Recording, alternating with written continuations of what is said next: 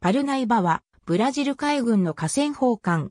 マットグロッソ小艦隊に配属され、広大なアマゾン川及び、四川流域の警備に当たっている。建造は、リオデジャネイロ海軍交渉において行われ、1936年6月11日に、寄港、1937年9月2日に浸水し、1938年3月9日に収益した。2020年時点でブラジル海軍現役艦艇中最古の艦である。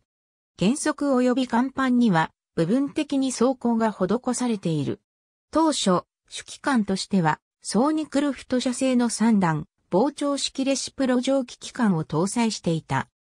兵装も当初は4.7インチ砲1門、47mm 砲2門、20mm、機銃6門を装備しており、1960年に4.7インチ砲をマーク2250口径3インチ感射砲に換装するとともに 40mm 機銃2門を追加装備した。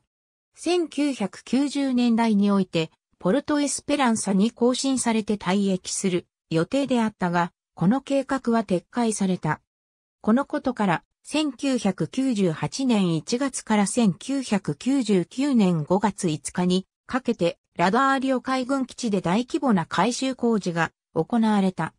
これによって主機関をディーゼルエンジンに換装するとともに、ニテロイ級フリゲートの改修に伴い撤去された70口径 40mm 単装機銃が転用されて搭載された。また完備上に化する形でヘリコプター甲板が新設された。ここでは UH-12 小型ヘリコプターに対し給油及び再武装を行うことができる。ありがとうございます。